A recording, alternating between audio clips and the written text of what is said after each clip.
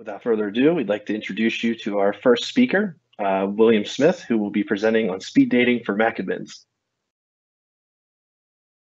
Alrighty, thank you everyone. Good to be here. Hi everyone, I'm William Smith, a partner program manager with Jamf, and today we're going to be talking about the past, the present, and the future. I hope you'll indulge me on spending a little bit of time on history before I get into things. I love anything that has to do with times, dates, and calendars. Marking time is a personal fascination for me because it has so many uses. And what I think is most fascinating is that humankind recognized the power of marking time for millennia. One of the first tools for marking time was the water clock. They had several functions, but I really liked the way they were used by the Greek courts. Lawyers were allotted a finite amount of time to speak, and that time was measured by water flowing from one vessel through a hole to another vessel. When the water emptied, the speaker's time was up. It was the perfect illustration of time running out. All they had to do to reset the clock was pour the water back into the first vessel. And what was really brilliant was they could pause the clock just by putting a finger over the hole. And in some cultures, even more important than tracking time was tracking dates or seasons or cycles. People needed to know when to worship. When is Easter this year? They needed to know lunar cycles. When does the month of Ramadan begin? When should we plant our crops to get the most yield but avoid frost or monsoons? When will the world end? I'm planning a party. In later centuries, it was the marine chronometer, a highly accurate timepiece invented in the early 1700s that allowed ships' navigators to determine their longitude when they could no longer see land. Latitude, your position on Earth from north to south, was determined by using an astrolabe in the 13th century or a sextant in later centuries to measure the stars compared to the horizon. That's easy to see when the planet is turning from west to east. But longitude had to be determined with time, specifically how far away you were from Greenwich Mean Time. Every hour away from GMT is 15 degrees. All sailors had to do was wait for the sun to reach its zenith in the sky, the highest point, and that would be noon local time. From there, they'd see what time it was back in Greenwich using their trusty chronometer. One hour's difference was 15 degrees longitude away two hours, 30 degrees, three hours, 45 degrees, and so on. Keep on going, and you end up with 24 of these time zones. But wait, how did sailors know their clock was telling the correct time? How does everyone sync their chronometers to the same time, even? Well, first you need an authority. Something like the Royal Observatory or any other local authority established around the world to actually monitor the Earth's rotation and determine when it's high noon. But then, how did the Royal Observatory go around synchronizing clocks in the 1700s? They borrowed another invention of the Greeks, which was the time ball. Ships had to be in port or near a port just before noon. They'd look up to a tall building on the highest hill where they could see a huge ball, usually at the top of a tall spire. Every day at precisely noon, they'd drop the ball, signaling the exact time. Navigators from miles away in various bays and ports could set their chronometers at precisely that moment. We still have ball drops today, but they're mostly ceremonial and used to mark special occasions like midnight, New Year's Eve in New York City, or other places around the world. Later, with the invention of the telegraph, which I like to call the original Internet, and the building of the Transcontinental Railroad, we no longer had to be within line of sight of a time ball. As communities were connected by wires, all sorts of information could be transmitted, including the current time, from a central authority. Railroads depended on accurate times because they had to get trains from one station to another in an exact amount of time. On time, every time. Time is money. To illustrate that point in modern times, today's high frequency trading stock market servers handle transactions in milliseconds, and they rely on time syncing as accurate as one millisecond. Accuracy of this caliber has only been available to us within the past decade. Only computers can provide the speed of calculations we need today for our society to function the way it does. We don't even think about it. We all carry around computers in our pockets that also act as receivers and listen for GPS signals from multiple satellites in the sky. GPS relies on time. The signals we receive from satellites have nothing to do with distance, but rather what time it is right now. Satellites are time synced, and our phones are time synced. The satellites are constantly broadcasting their current time and their current position. Each broadcast lasts about a millisecond. Our phones have the computational power to calculate the latency of the signal on the timestamp of the messages it receives and then calculate the distance to the satellite. Then, using geometry and trigonometry to do something called triangulation, it can tell you where in the world you are. And because our computers are fancy, powerful calculators, we can accurately determine where in the Earth's orbit we currently sit. Then we can calculate where in Earth's orbit we need to be to launch a rocket to get us to Mars with the least amount of fuel. That's the end of my history lesson. I hope you found it interesting.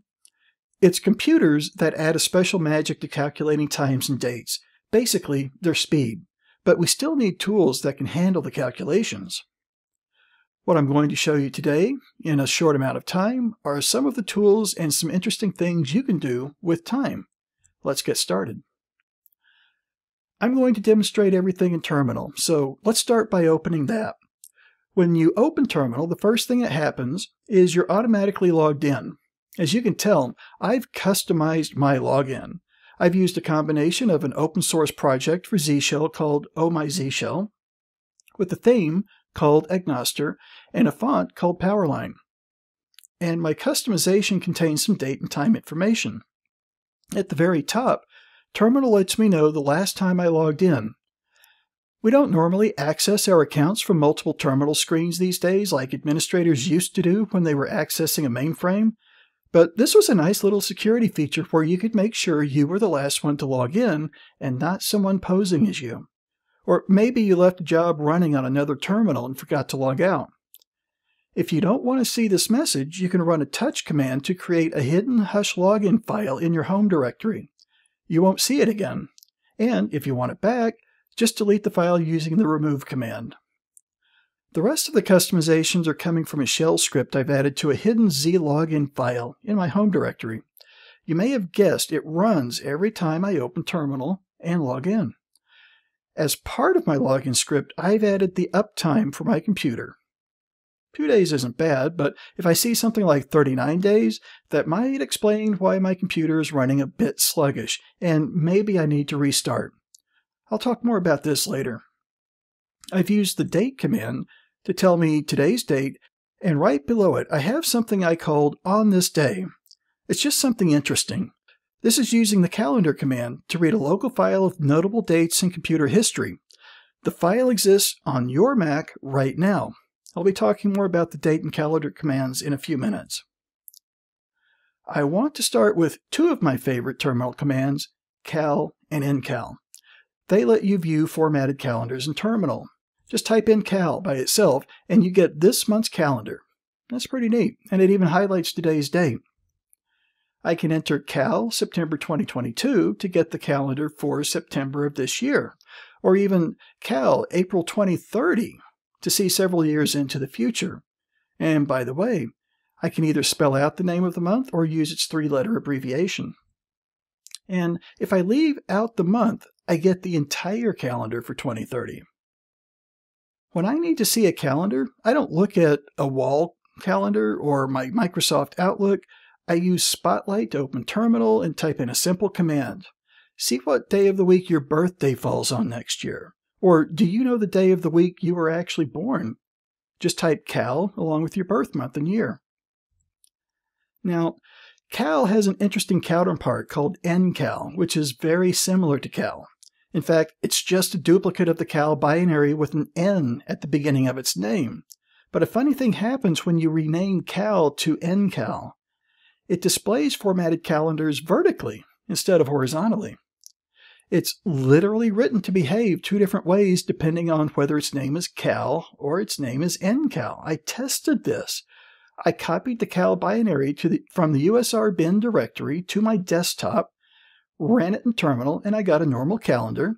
Then I named it to NCal, ran it again, and got back a vertical calendar. Funny thing is, I can still run cal with a dash n option to invoke ncal. So you decide, is this attention to detail or is it just wacky programming? I don't know. ncal might be useful if you're using it as part of a script and want to use a grep command to get the dates of all the Fridays in a single month, or any other day of the week. That gets a little messy though if we're looking at an entire year. I just hit up arrow to repeat the same command and put in 2022. It's a little difficult to determine which row of dates belongs to which month. Now, so far, I haven't necessarily needed the dash E as part of the grep command just to find the Fridays, but in addition to looking for Fridays, we can also look for lines that start with blank characters to return the years and the names of the months. That should make reading this list of Fridays easier, and now I do need that dash E. I'll hit the up arrow to bring back my command. Here I'm piping the result of ncal into the grep command, using a regular expression to return all the lines that begin with either a blank character or Friday, or I could use awk to do something similar. One thing we can do with ncal that we can't do with cal, unless we're running it in ncal mode with the dash n option, is display week numbers. All we have to do is add the dash W option and you'll see them running along the bottom. We can add 2022 to see the entire year. And again, I can use those same grep commands to get the dates of all the Fridays of a single month or a year with their week numbers. The last command here is probably the most useful. I see the year, I see each month, I see the dates of each Friday in the month, and the week number of each one. An interesting use I found for this is to see my upcoming paydays. We're paid every other week, and every other week for us is an odd numbered week. Now, what I can do is look forward to see which months have three odd week numbers, and that tells me I have an extra paycheck that month. That's Cal and NCal, really simple to use. Our computers can calculate and format these calendars in milliseconds, whereas in the medieval era, the royal astrologer or a monk in the Catholic Church would have had to do all this manual calculation with lots of reference tables. And as you can probably guess, it was pretty prone to error. Next, I'm going to clear my terminal window and log in again to go back to my customized terminal login screen. Let's talk about this, my on this day message. I said earlier, it's using a calendar command, and it's something you have on your Macs right now. There's some interesting history behind this calendar command. Lord of the Rings diehards existed well before Peter Jackson movies were released in the 2001 through 2003 years. I read the trilogy myself when I was in middle school. Computer geeks and fantasy go hand in hand. Now, 10 years ago, back in November of 2012, a Mac user discovered a Lord of the Rings calendar on his computer. It was buried in some of the hidden directories. And if you read the file, you'd find important dates from The Lord of the Rings. Now, back then, every Mac blog reported it, but they didn't go into much detail about it. Where did it come from? Why is it there? Let's talk history again and get a timeline of events. I'll start us out with what we already know when the movies were released and when the calendar was discovered. The calendar command first appeared in Unix 7th edition in 1979. It was listed then and still is today as a reminder service. It included a few sample calendars, and one was called calendar.history, a calendar of world events. Over time, the history calendar was appended to and updated, until someone in 1994 in the 4.4 BSD version of Unix, a descendant of version 7 Unix, decided to add Lord of the Rings references. I guess you could call that a kind of history, right?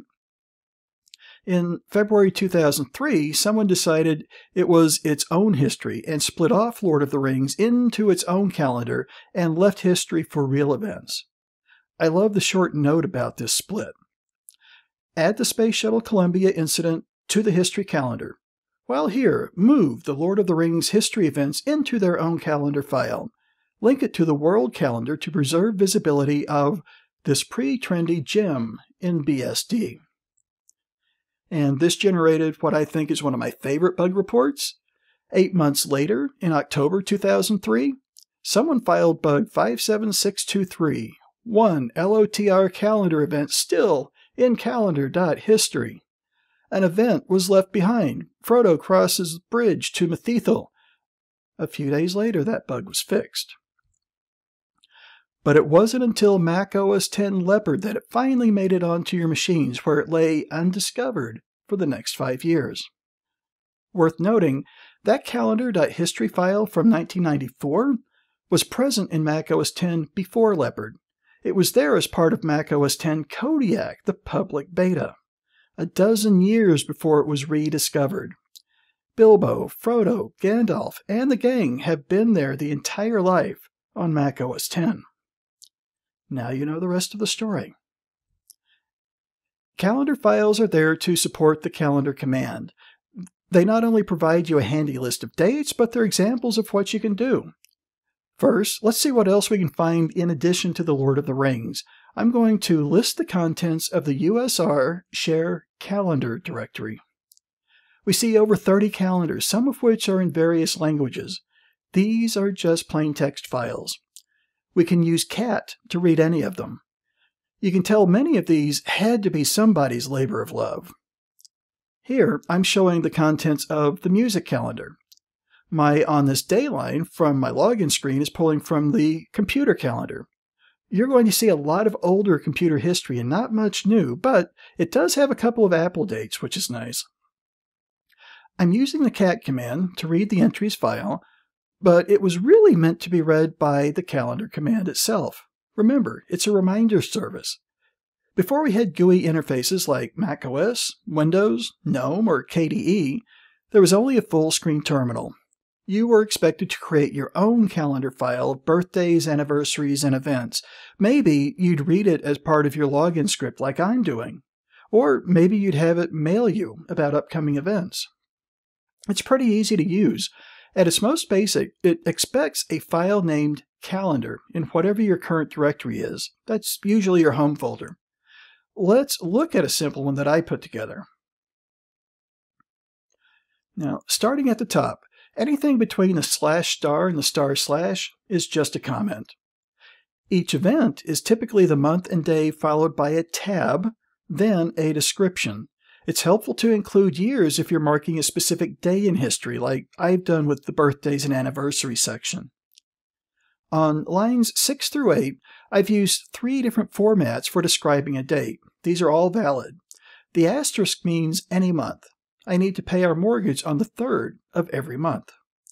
If I put just the day of the week, then I get a reminder on that day every week. Fridays are family game night. And the third event is the Memorial Day holiday here in the US. It's never on the same date, but it's always the last Monday of May. Now, look at what I've done for backup starting on line 19.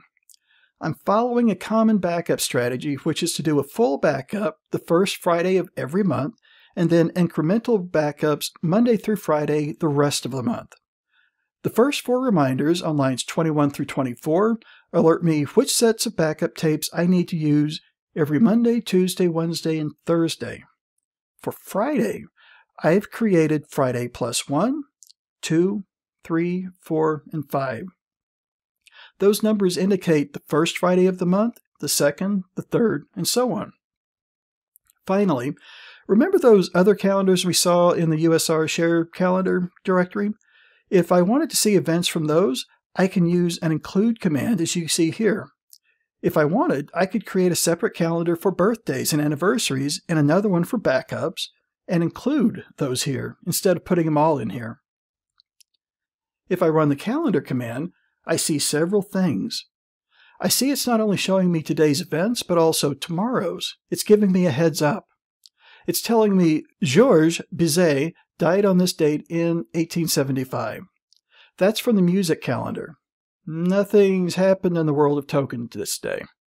But Friday is going to be a busy day. It's the first Friday of the month, so I need to take a full backup. It's also Lori's birthday. We'll get together with her at family game night. And I need to pay my mortgage. Where you see asterisks here, that means the date changes from week to week or month to month. It's not the same every time. Of course, today we have sexy GUI tools like Apple Reminders and Microsoft Outlook, but if you're in Terminal, a lot like me, and you feel like being a little bit geeky, it can be nice to be reminded every once in a while what's happening in Middle Earth. Or maybe somebody will put together a calendar.apple file. Let's talk about Time next, a super useful command line utility if you haven't discovered it yet. Have you ever run the System Profiler command? It's the equivalent of the system report that you can get by selecting About this Mac from the Apple menu. It gathers all sorts of information from installed software, the operating system, hardware specs down to each component, and even information about peripherals attached to your computer. If you run it without any argument, it takes a long time to finish. But just how long? That's where the time command comes in handy. Just add it to the beginning of any command and it'll time how long it takes.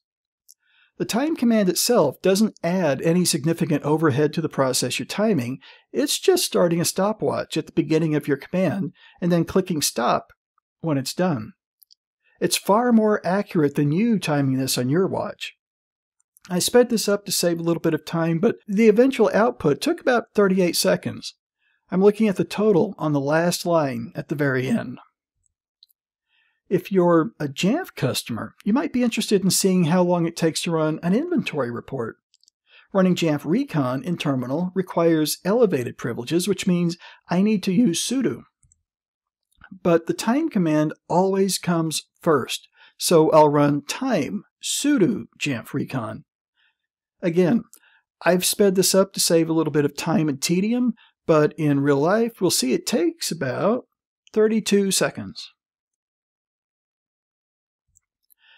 If we look at the man page for time, there's not much to it, but I see it has a dash P option, which will print each time on its own line. That might be useful for scripting where I want to make it easy to parse the results. Let's see what that looks like.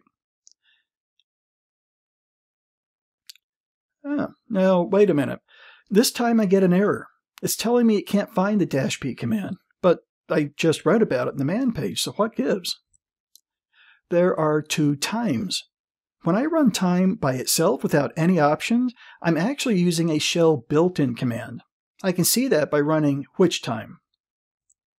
The man page I was looking at was for the time binary located in the USR bin directory. This is the one that has the dash p option I want. So I'll run USR bin time dash p sudo jamf recon. This time I don't receive an error when adding the dash P option. Now I'll get the simple output with the real time on the first line. That's the one I want. I'm going to hit up arrow to bring back my time command for Jamf. The easiest way I've found to parse this is to encapsulate the entire time command in parentheses. However, that's going to output the results of the Jamf recon command. The time command's output goes to standard error, so I need to redirect that to standard output. Now, I can pipe that into an awk command that looks for any line that contains real and print the second item on the row, which is the time. Let's see how long it takes. Twenty-seven seconds in real time. It's the simple things that quite often make lives much easier. Time is about as simple as it gets. Or maybe not. How about uptime? Just type uptime into terminal to see how long your computer's been running without a restart. Or better yet, ever had an end user open a ticket and you tell them to restart, and then they report that it didn't work? Run uptime on their computer. Point to where it says 130 days. Make sure they didn't just turn their monitor off and on. Are you using a management tool to report on your computers, and would you like to collect the uptime for them? It's easy to use awk to parse the uptime just for the time, but be warned, uptime can return information in five different formats. This command's carefully crafted to account for all of them. If you see extra information about no such file or directory in your output, that means you probably have multiple terminal windows open. Don't worry about it, the command itself only returns the uptime. Other than that, uptime's so simple, even its man page shows it has no options. That's uptime. That's even simpler than a simple gets. Let's clear the screen again and quickly talk about the string formatter for time function. It's going to come in really handy when we get into the date command. It has a very simple purpose. It's a function. A function is nothing more than reusable code that serves a specific purpose. In this case, the string formatter for time takes an epoch time and reformats it to a string in the format you ask for. If you don't give it an epoch time, it just assumes right now. So first, what is an epoch time? Very simply, it's the number of seconds away from January 1st, 1970 at midnight. If I run the string formatter without providing a date, I get today's date and time. I'll explain the substitution characters in a minute, but for now, just know that this returns year, month, day, hour, minute, and seconds. That's just a few seconds ago. If I provided an epoch time like this, it translates into the year, month, day format that I'm specifying. This number is and always will be Halloween 2014. That's an exact number of seconds away from January 1st, 1970. I should be able to prove that by prove that just by setting the number to zero. Uh, but wait, uh, that's December 31st, 1969 at 6 p.m.? What's wrong with my computer? The answer is nothing is wrong. I just happen to be in St. Paul, Minnesota, which is Central Time and has an offset of six hours from Greenwich Mean Time, or UTC. Just like our sailing ships synchronize their chronometers with GMT to calculate their longitude, epoch time is also standardized to GMT. To compensate for my time zone, I'd have to adjust the epoch time by 21,600 seconds. That's six hours. So that's interesting. Why am I showing you all of this? It's really for the string formatters man page. At first, it doesn't look all that exciting, but if you start to scroll down, you'll quickly get to its list of conversion characters. I was using these earlier. Each conversion character begins with a percent sign, followed by one upper or lowercase letter. The letter you use decides the format of the time or the date that you'll get back. There are dozens, if not hundreds, of websites that post this information as if it were a Rosetta Stone or a cheat sheet for formatting date and time strings. Save yourself the trouble. You have it on your computer. Just look at the man page. Let's get acquainted with a few of these conversion characters. We'll start with A. A is for day of the week. Capital A is for the full spelling. Lowercase a is for the abbreviation. B is for month. Capital B is for the full spelling. Lowercase b is for the abbreviation. Why didn't we use M for month? Well, because capital M is for minutes. But if you want, you can use lowercase m. That stands for the two-digit numerical month. Follow the man page. Don't bother to memorize these. If you use any of them frequently enough, they'll stay with you. Now, let's reset everything again and move on to one last command, date. Of all the commands, I've created more snippets and cheat sheets for date than any other. If you're dealing with calendars or times or timers or log files, you're going to be using date. I'm going to quickly show you a little bit about date ways to display various dates and times, and a few things you can do. So first, running date by itself in terminal returns the date and time right now. It's very computery looking. What I mean by that is it's a long string of information where some things like the weekday and the month are abbreviated, whereas the time string of this is down not only to the second but to the time zone. And the year is thrown on at the end when it really should be after the date. It's a mishmash of data without much thought put into what's getting displayed. Now, date can do a few things. It can set the date and time on your computer. It can display dates and times in various formats, and it can do some pretty cool date calculations. Today, practically every computer is time synced, and other than testing, there's really little reason for you to manually adjust your clock. But you can do it with date. This will set the date on my computer to July 1st. 07 for month, 01 for date, 00 for hour, 00 for minute, and 22 for year.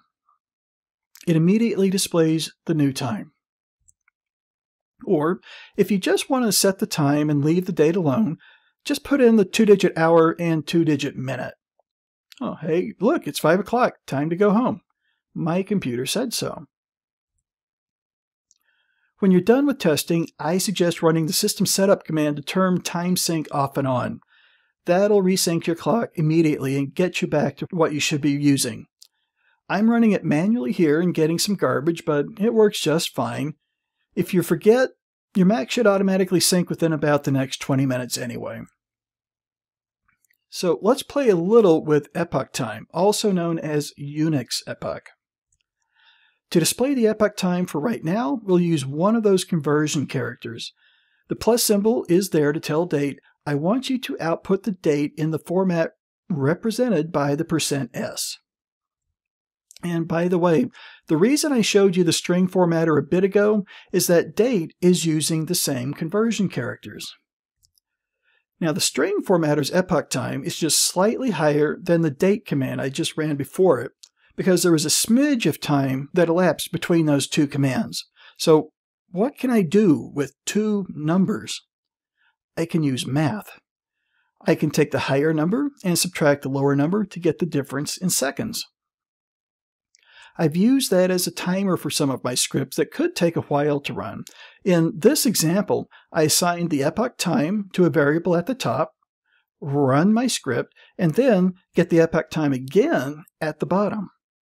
I calculate the difference and report the running time. This is a great little snippet for a lot of scripts. Let's talk a little bit about formatting.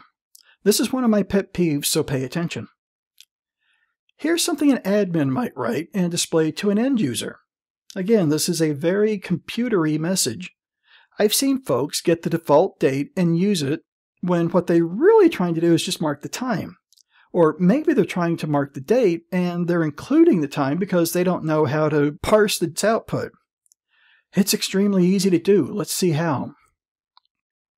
First, we don't need the echo command. Date acts like echo, so we'll start our command with date. Next, we need to phrase what we want to say. Started update at hour, colon, minute, space, AM, PM. This will take about 30 minutes. That's the format I really want. And remember, we need to include that plus symbol at the beginning to signify I want some output in the format I'm giving. Notice I've written this out as I'd like it to read and made placeholders for hours, minutes, and AM PM. I don't need the year. I don't need the time zone. I don't even need to know what day or what month it is. This only takes 30 minutes. Now, I'll look at the conversion character for hour. I see it's percent capital H. So I'll replace hour in my phrase with that. I'll do the same for minutes. That's percent capital M. And I don't know if this will be running in the morning, evening, or afternoon, which is why I like to include AM PM. That's percent %P. And notice I'm including the colon between the hour and minutes. It's not a special character. And I'm including a space before AM PM. Now, let's see if this looks like what I want. Hmm, that's about right, but I see something that bothers me. 13:27 p.m.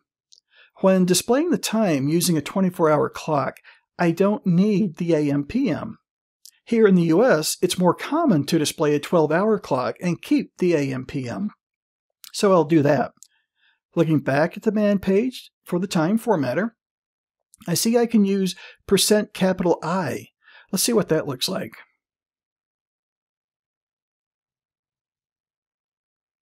That's closer, but I still don't like it. I have no need for that leading zero.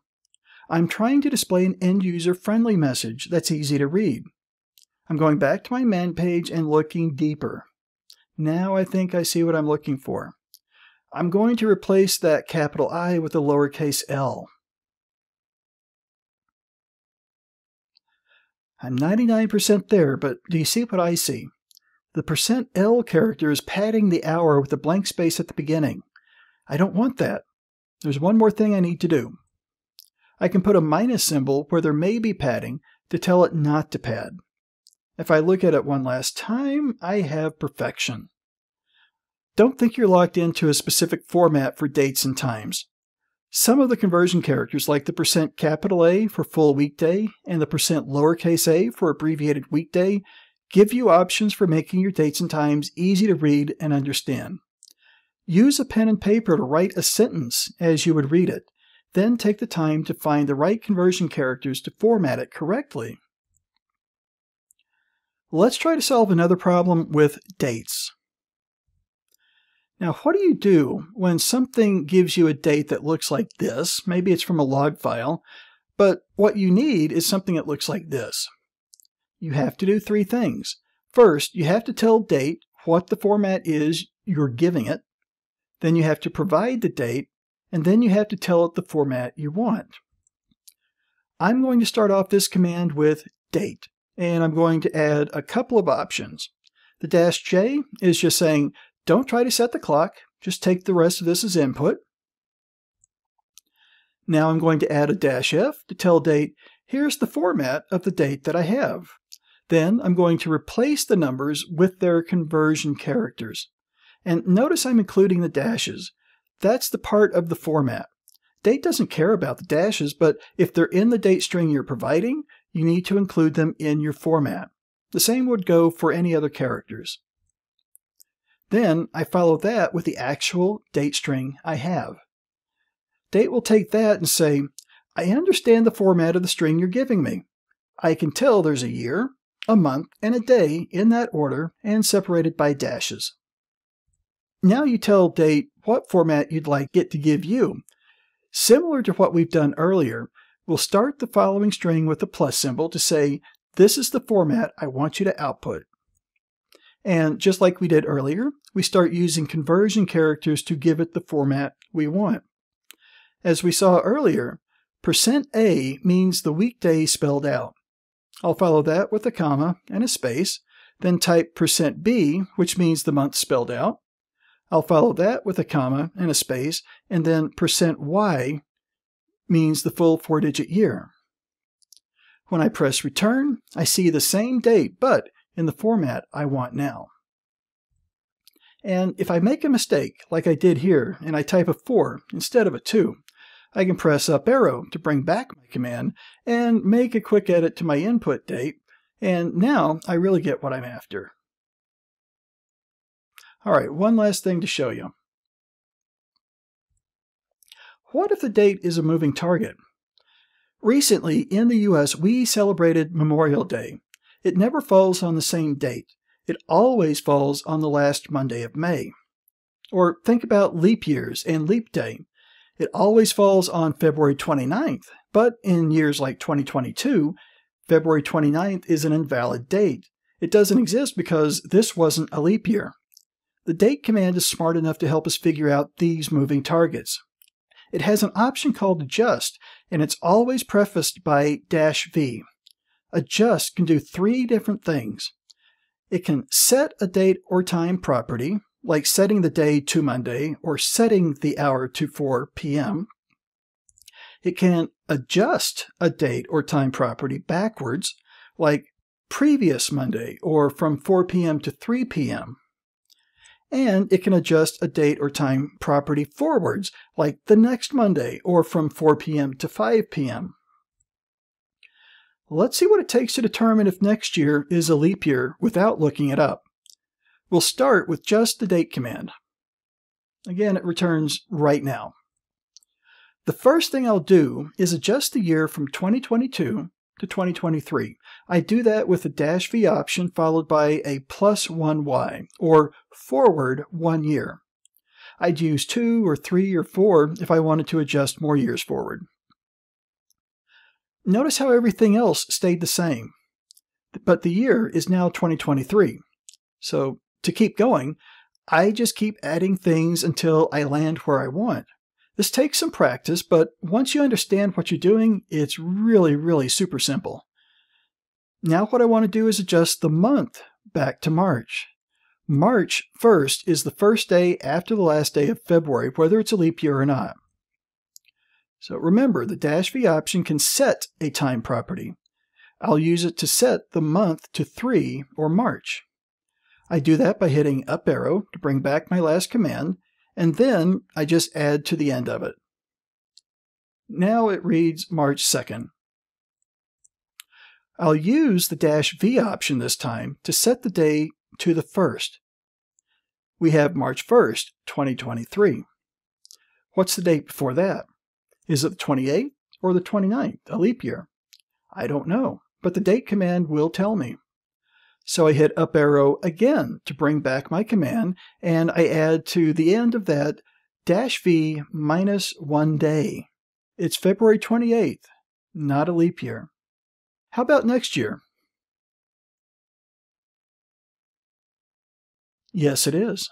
By the way, I could have also used the dash V option to simply set the year to 2023 or 2024. Either way would get me there.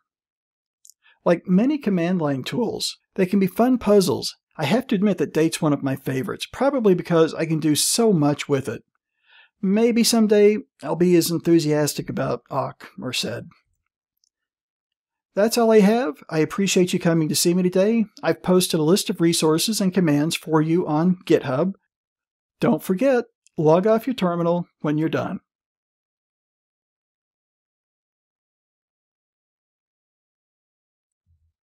All right. Well, thank you very much, uh, William Smith, for that wonderful presentation. I'm going to go ahead and start our QA. Uh, the first question is a pretty fun question, so we'll uh, ask, can we see the rubber duck, rubber duck to appease the demo gods? I recorded everything, so I didn't have any demos, but I've got it. It's right here in my trusty server closet.